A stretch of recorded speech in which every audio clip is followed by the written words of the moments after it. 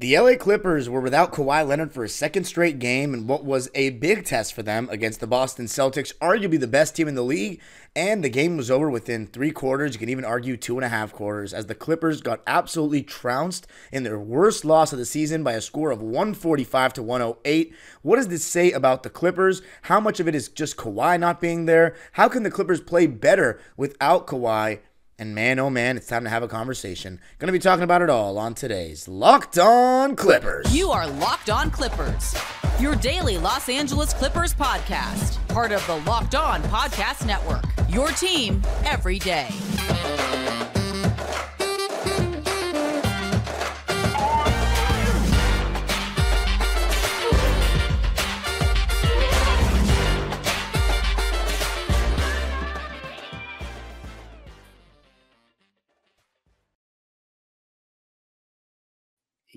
Yes, sir. You are locking in with the Clips. Thank you for making Locked On Clippers the first listen of your day, your team every day. I'm your host, Darian Vaziri, born and raised in LA and in my 19th season as a Clipper fan. You can also follow me on Twitter and Instagram at Dime Dropper Pod and subscribe to my own YouTube channel, Dime Dropper, where a vlog of what was, in my opinion, my least favorite game to attend this season is on my channel. Talk to fans throughout the day. And of course, Locked On Clippers, free and available wherever you get your podcasts, including YouTube. Where I want you to let me know does that say anything about the team? Does it say how much we need Kawhi? Are you worried about the games without Kawhi? Are you worried about Kawhi? Because in this episode, I'm going to be talking about the game, but obviously, the main takeaway before the game even started, no Kawhi Leonard missing his second straight game with the hip contusion. We all thought he was going to go, and now it's starting to cause fans, including myself, to be a little bit worried. Now, do I think it's a serious injury? No, I don't. But the fact that he's missing two straight games lets me know it is an injury. I was actually I was actually in the back of my mind kind of hoping for it to be load management because it, if he only missed one game and you know it's a back to back and they use the fall to be kind of like a you know insurance policy if anybody accused him of load managing like look he took that fall we want to just be careful with it but two straight games that concerns me just a tad now, obviously, if he comes back against Charlotte on Tuesday, then it's it's no big deal at all. But right now, it does make me a little bit concerned because those 27 straight games, it was an amazing run. If you had told me though, 27 out of 29 games, I would have been very satisfied with it. So I'm just hoping he's back next game, and I'm still knocking, still knocking. It was good to have Paul George back, and offensively he looked a lot better. But let's talk about it, right? So second game of the season without Kawhi and it's the second straight game where we weren't even able to compete in the fourth quarter. Like the game was already done. We waved the white flag. So is that more about the level of competition we were facing at OKC and versus Boston? Remember, they didn't have Porzingis. It wasn't just that we didn't have Kawhi. They didn't have Porzingis, which is relevant. But I still give them the advantage. Is it about the competition, or is it just maybe the Clippers aren't a good team without Kawhi? I'm not ready to say that they're not a good team without Kawhi because that's the whole reason we brought James Harden in, right? Or like the main reason was games without one of the two star players, we have an insurance policy. Well, it hasn't looked that way so far through two games. And you know what? Maybe I'm an optimist, but my takeaway is that those two games are too good of teams for you to make real judgments on.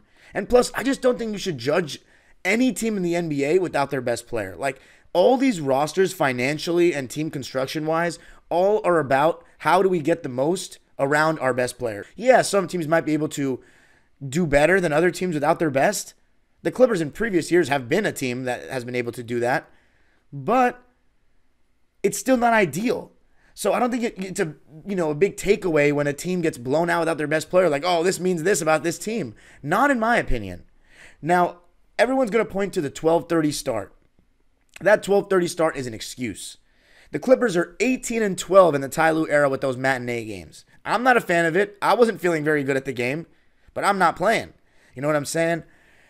It was embarrassing. The Clippers got completely outworked. Before we get into the specifics, they got completely outworked the Celtics were first to every loose ball. Their offense was played with more purpose. And I said the same thing against OKC. Played with more purpose. The ball was moving faster. They were getting into their sets quicker. Their transition defense was better. Their defense was better, period. We were bad in transition. We were not communicating well enough.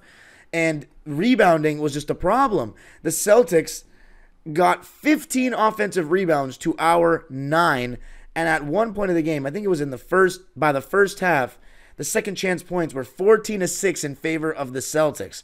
We were allowing their backup big man that I'd never even heard of, the Portuguese guy, Queta, to get a double double. He literally got a double double 14 and 12, six offensive rebounds. And his defense was pretty good too. Not trying to take anything away from him, but that was like, you know, that's unacceptable. First quarter was the only one that the Clippers like were kind of in it. They lost it 28-21. After that, they lost every quarter. We literally gave every quarter. 28-21 in the first, 40-30 in the second, 38-30 in the third, and 39-27 in the fourth. So in 3 of 4 quarters, we allowed 38 plus points. That's never going to win you a basketball game. Let's talk about why it was so hard to defend the Boston Celtics. So, we have Paul George guarding. Actually, he wasn't even guarding anyone significant. It was Amir Coffey guarding Tatum to start the game and Terance Mann guarding Jaylen Brown. First possession, Zubac is in deep drop coverage against Jaylen Brown. I don't know why that's what our plan was. I mean, I think we quickly adjusted it, but deep cut. Oh, actually, I know why. Because Jaylen Brown's only shooting like 33 or 34% from three so far this season. So I get it, but it was a little too easy. He made that first shot. The Clippers were blitzing the ball screens with Tatum, though, when it came to Zubac. They were blitzing every time. And if Tatum can make that one pass over the top, now you're in a four on three situation as the offense. And when the Celtics are knocking down their threes, you know they're going to shoot a lot. If they make them, it's really hard to guard them. They're probably the best team in the league, just given their defensive personnel and their shooting. But when it's not falling, that's when they have their cold spells, and that's when you've seen some struggles for them in the playoffs at times because they really fall in love with that three ball. In this game, they shot 53 threes to the Clippers 34. So, just from a math perspective, they only shot five more shots, but they shot 20, I'm sorry, 19 more threes, and they shot 47% from three, 25 for 53. Eight different Celtics made a three by the first half at halftime, by halftime, and only four for the Clippers. I mean, they were just lights out. Someone like Oshae Brissett, for example, he's only made three threes on the season. Guess how many he made in the game? Three. So it's a mixture of the Celtics had a lights out offensive game, but the Clipper defense was not good enough without Kawhi. That backline help that Kawhi gives when Zubac gets dragged out is very important. The timing of where Kawhi is and when he comes to help is great. His hands are great. He's just a disruptor. And we can't understate or overstate what that means to this defense. It truly just looks like our defense without Kawhi is terrible. Because remember, we're already thin at that front court spot. I mean, now that Amir Coffey is starting when Kawhi is out, who do we have coming off the bench? Daniel, Theis, Kobe Brown. These guys aren't necessarily big time stoppers around the basket. And I want to say Paul George and James Harden being the two star players that are starting for us they need to set a better tone defensively, particularly Paul George. I didn't notice it when I was at the game. I only noticed James Harden, who I counted about 13 points that he could have been at fault for defensively. I mean, getting blown by on the perimeter. Besides like one deflection he had and a couple decent shot contests, he was bad defensively. He got beat back door by Jrue Holiday early in the game. At times in transition, he wasn't sprinting back. Uh, just you know, when Derek White got the better of him at one point uh, when he was guarding the pick and roll, Jayson Tatum blew by him super easily and drew his Ivica Zubac, which allowed Queta to get an offensive rebound and put back. Just a bad defensive game from James Harden. And then Paul George, I didn't notice it at the arena. Then I went home and watched. He was horrible defensively outside of like a block and like a steal or two. Let me see how many steals he got because whatever it was, it wasn't relevant. He got one steal and two blocks. He was bad defensively, over helping when he didn't need to, not picking up in transition. There was one possession in the second quarter where Jayson Tatum was wide open. Sorry, two possessions in a row. Back to back threes. Paul George, no idea where he was supposed to be. Like there was he was guarding Tatum on one possession and he's just ball watching. I get it if you're ball watching guarding a non-shooter or like the worst player on the court. You're guarding the best player on the court. Better than you, Paul George. Sorry wake up. Like Paul George's offense was great. I'm not gonna lie. I mean, he came out the gate aggressive, which I love to see. He had 12 points in the first quarter, 10 points in the first six minutes. He was great. But our defense just wasn't good enough at all from anyone. And coming up, going to be talking more about the mistakes that were made and why this game was just always out of question for the Clippers to win 145 to 108. Clippers lose this one. Going to be talking more about the specifics and the X's and O's coming up. The Locked On family and Locked On Clippers and myself wishes everybody listening a Merry Christmas. It sucks that the Clippers aren't playing on Christmas Day, but it is what it is. Before we got James Harden, there was no one really talking about us. We were flying under the radar, so we didn't get a Christmas game. So I would advise Clipper Nation that you take the Christmas if you celebrate it with your family. Just watch basketball. I'd always encourage you to watch basketball.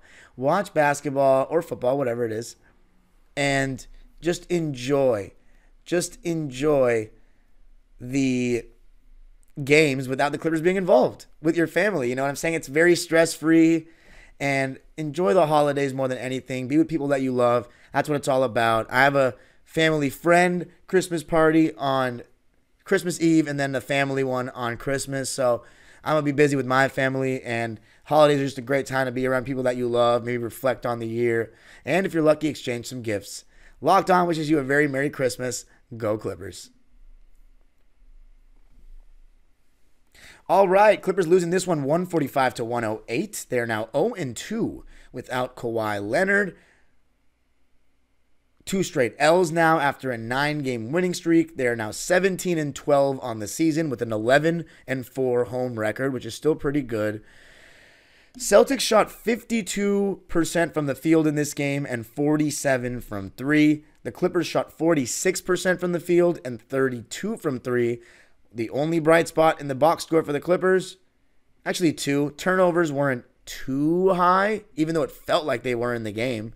We turned the ball over 11 times, Boston turned the ball over 10 times, and then 100% from the free throw line, 15 for 15. So, I've been talking about the Clippers have recently shot much better from the foul line, and I'm happy that's that's the case because it's never a bad thing. You got to be good at making free throws.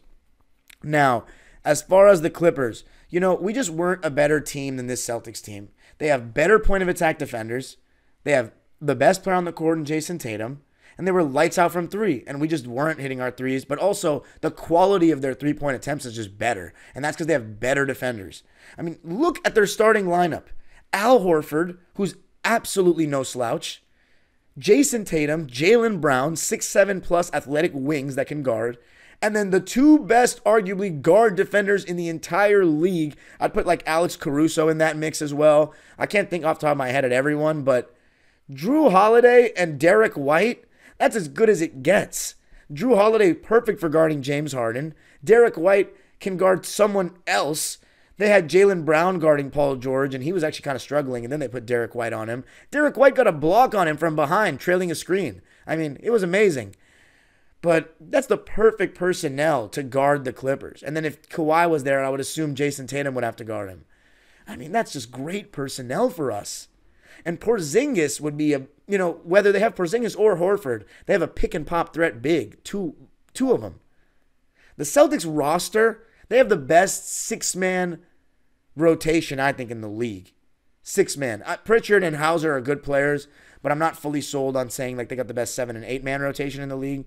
But Hauser can really shoot the ball. I mean, there's no doubt about that. Even though he was only one for five from three in the game, Payton Pritchard was three for five from three, though. He came in and started lighting it up. But I thought the Clippers defense, just attention to detail, was just not good enough. One thing that the Celtics did that was very interesting was they put Jayson Tatum on Zoo because we obviously like to use Zoo as a screener with Harden, so then they can switch that pick and roll. And then they had Horford guarding Terance. So when they wanted to put Horford in the pick and roll, Clippers, which we want to do because you always want to put their slow footed bigs in the pick and roll, Horford, for the most part, was just showing and sometimes not even recovering because right now Terance Mann teams know that he's not playing well, he's not shooting well, so they're okay with letting him get the ball. And I'll talk about him more later in the third segment. But I will say one of the only silver linings was that James Harden, even after having a bad first quarter offensively, like several turnovers, just wasn't getting good shots, wasn't making shots. He had a stretch in the beginning of the second quarter where he made two threes. He got uh, made two lamps on a fast break against Al Horford, and he actually blew by Tatum once. He blew by Jrue Holiday once for a Zubac lob, and he blew by Horford twice. So James Harden is starting to look better in terms of getting by guys, which we're going to need if we want to win a championship with him in the playoffs. Will he be able to do it consistently after all these months? You know, I know the season takes a toll on James Harden at times. It, it, it has shown that it has over the years, especially with how much he's been asked to do over the years. But I'm hoping that because he's not being asked to do as much as he did, even with Philly and of course with Houston, that he'll have the legs to still be able to blow by even the elites of the elites because his handle's still elite of the elite. But I, I wasn't a fan of James Harden's performance in this game. His stats might tell you 14 points, 9 assists on 6 for 13 shooting and 2 for 5 from 3, but he got no free throw attempts. He probably should have gotten 2. There was one possession in the second quarter, like right when we kind of fell apart, where Harden missed like two point blank shots around like the key and then that was right before Jayson Tatum had those two threes. And then he had a four point play when Kobe Brown had one of his many reckless closeouts this season. How many times have I talked about Kobe Brown fouling jump shooters? He clearly's got to relax. Like we fouled Jayson Tatum three times on threes throughout the game. That's unacceptable. Just so just a lack of attention to detail, a lack of effort. I mean, Brian Sieman even said it in commentary that the Clippers don't they look like they're in third gear. Like they just don't look like they came out sharp at all. Whereas Boston looked like they were. And there was a lot of Celtics fans in the building 55% to 60%. It was crazy. There's a reason I don't go to Celtics Clipper games. It raises my blood pressure too much. And we had nothing to cheer about. Nothing. Disappointing. You know, Russ comes in and he's guarding Jayson Tatum. And I have to say, we had terrible endings to the first and second quarter. First quarter, Russell Westbrook, two bad shots in a row. One no pass possession, the other one a three when he could have attacked a closeout. Bad. Russ in the first half was terrible. Norman Powell in the first half, terrible. And when Norm's not hitting shots, his lack of defense sticks out. Now, granted, Norm is going to get a pass from me because he's been playing really well lately, and it's just a you know he's a role player. He's going to have a bad shooting game eventually. Three for nine from the field, one for three from deep, seven points in 25 minutes. Yeah, he wasn't good. Kobe Brown, despite his bad closeouts and his defense not being that great, six points, four assists, two rebounds. He had a really nice pass to Ivica Zubac in the third quarter on. I'm sorry, the second quarter on two for two shooting, and both his shots were threes. So that's good. You know, get some confidence for Kobe Brown shooting the ball potentially. But Amir Coffey had two points. Terance Mann had zero points. I mean, it was no good. That's two starters, by the way, combining for two points. The only players I thought were, you can argue, played well in this game Zubac and Paul George. But after watching Paul George's tape defensively, I'm not, I don't know if I can say he played well just because he had 22 points. Like, that's not good, or 21 points. 21 points, three rebounds, two assists, a steal, and two blocks. He was efficient, 9 for 17 from the field, 3 for 7 from 3. Harden, by the way, I think he should have had five turnovers. There was one that he wasn't given, but like Terance Mann, they were doubling off of him, and it was early in the game. It was only 5 to 5. So Terance hadn't really, you know, missed everything all of a sudden. And he didn't pass to him, and it ended up being a turnover. And that was, I thought, you know, a selfish decision by Harden on that play. He should have given up the ball. But, I mean, it's hard for me to say anybody was good. It was just a disaster of a performance. The Celtics were rolling on all cylinders. And for how bad the Clippers were, we got to talk about how good the Celtics were. I mean, four guys with 18 or more points. You had 18 from Derek White, 20 from Jrue Holiday, 24 from Jaylen Brown, and 30 from Tatum. Tatum was 9 for 16 from the field, 5 for 10 from 3 and Jrue Holiday was 8 for 12 from the field and 4 for 6 from 3, and Jaylen Brown was 9 for 17 from the field and 3 for 6 from 3. They were just absolutely lights out. And on the topic of the ending the second quarter poorly, we actually cut the game down to 15. And then Paul George shoots a quick three, trying to get the two for one with way too much time on the shot clock and Jaylen Brown comes in and actually gets the two for one, and then they're the ones that end up with the solid ending to the quarter and not us. Just terrible. Bad decision making all the way around. Unserious. Without Kawhi, you have to look better than that. You have to put up a fight. You can't lose by 40 at home. I don't care how good Boston is.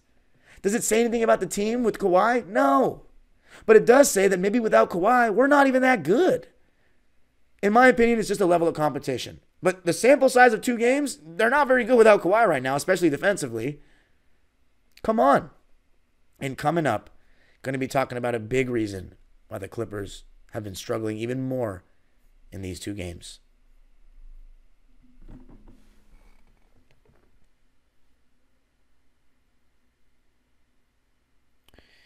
Clippers losing this one 145 to 108 against the Boston Celtics.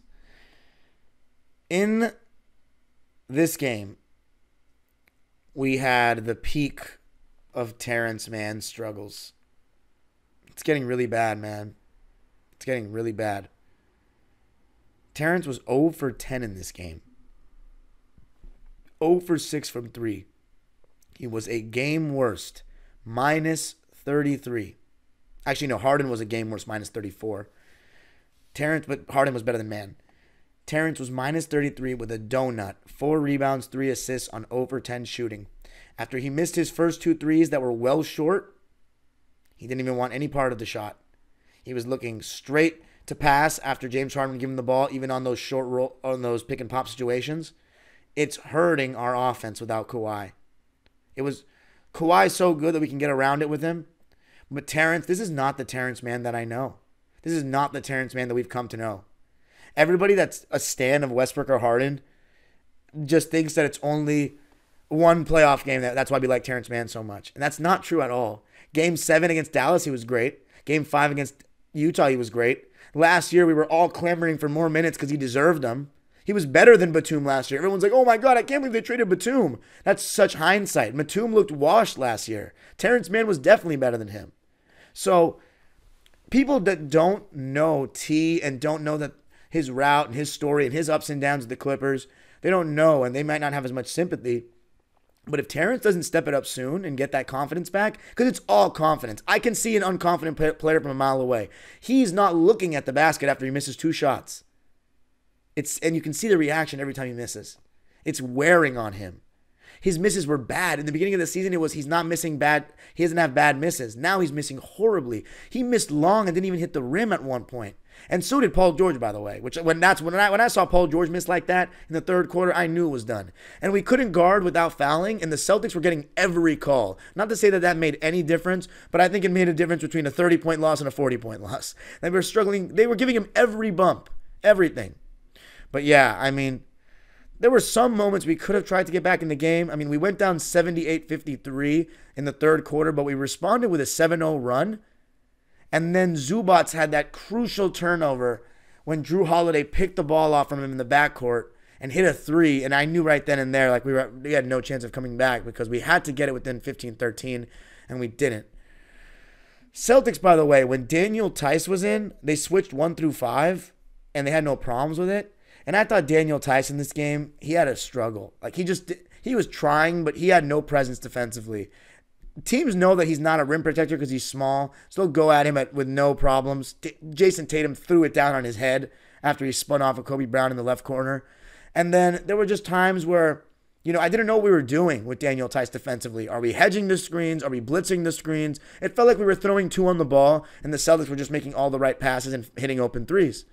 But I just have nothing good to say about Daniel Theis for once because he's been so good with us. He played 21 minutes. Somehow he was five for five with 15 points. I have no no recollection of any shots that he made. Actually, I think he had no. He had a lob from Harden. I think Harden fed him a couple times, but not much. And Westbrook, I mean, he, he came in the game in the second half. when We were down 30, and he had a really good ending to the third quarter. He had 12 points, five rebounds, and five assists and a block and only one turnover in the game, which was when he stepped out of bounds.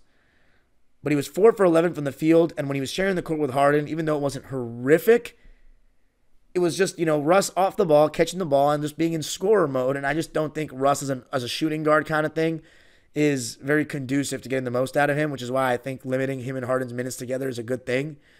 But yeah.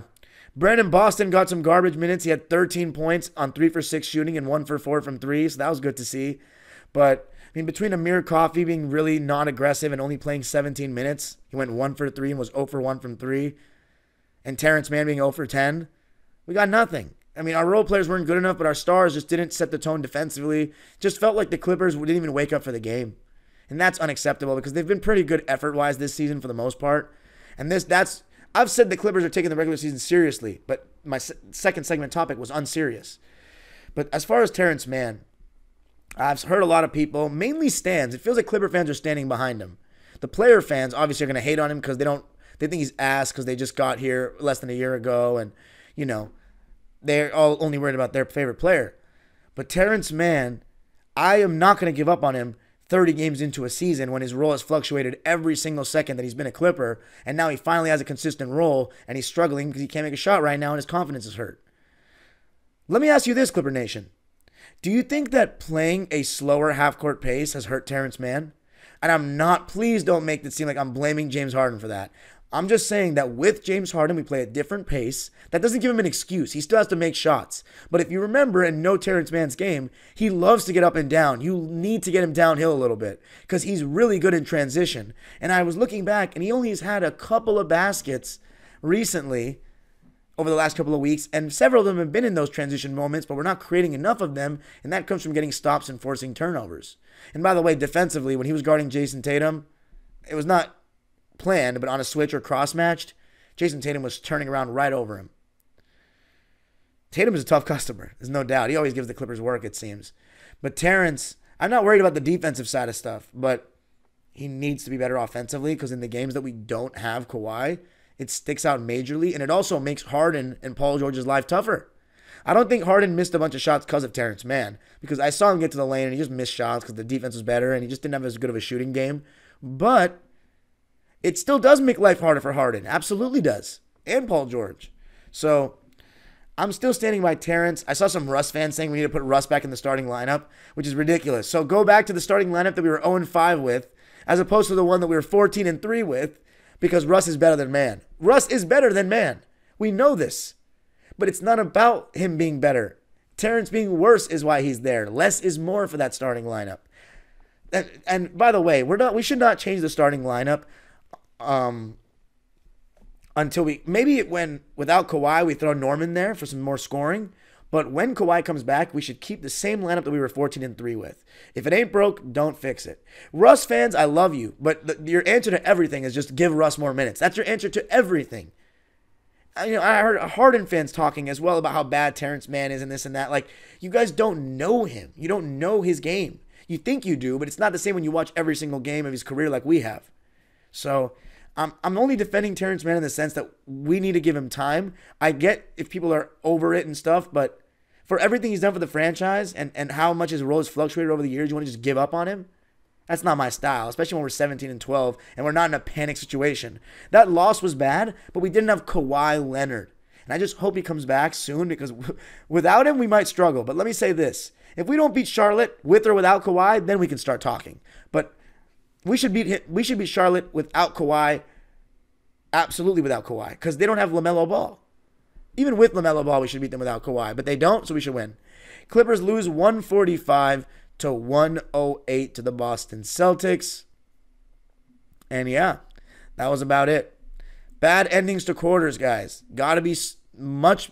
It was the same against OKC. The endings to quarters weren't good. You can follow me on Twitter and Instagram at Dime Dropper Pod. Subscribe to my own YouTube channel, Dime Dropper, for even more Clipper content and LA sports content. And Locked On Clippers, free and available wherever you get your podcasts. Let me know what you think of the game, what my comments. Of course, I know there's going to be people that are saying that I'm too soft on Terance. That's fine. You have favorite players, and I have mine.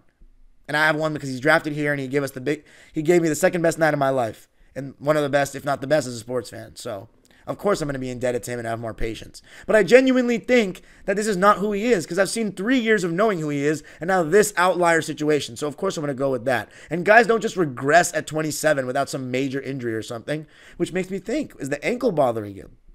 I don't know because I've seen tendencies of hesitation before the ankle. So, that's an excuse to me. He's got to be better. There's no way around it. I love you, Terance. I hope if you listen or if your family listens, I love you. And I trust that you can be better, but you know you have to be. I know he practices. I just want to see some shots go in for him, and hopefully we can get out and run a little more. Maybe he should play in the second unit with Russ for more transition ball. Maybe. I don't know. Let me know what you think. Have a very Merry Christmas. I love you all, even the ones that annoy me. Thank you for subscribing. Thank you for listening. Thank you for helping the algorithms and just making my work worth it. I love the Clippers. I love you. I love Clipper Nation. Greatest fans in the world. The age old problem continues. Go Clippers. Ah.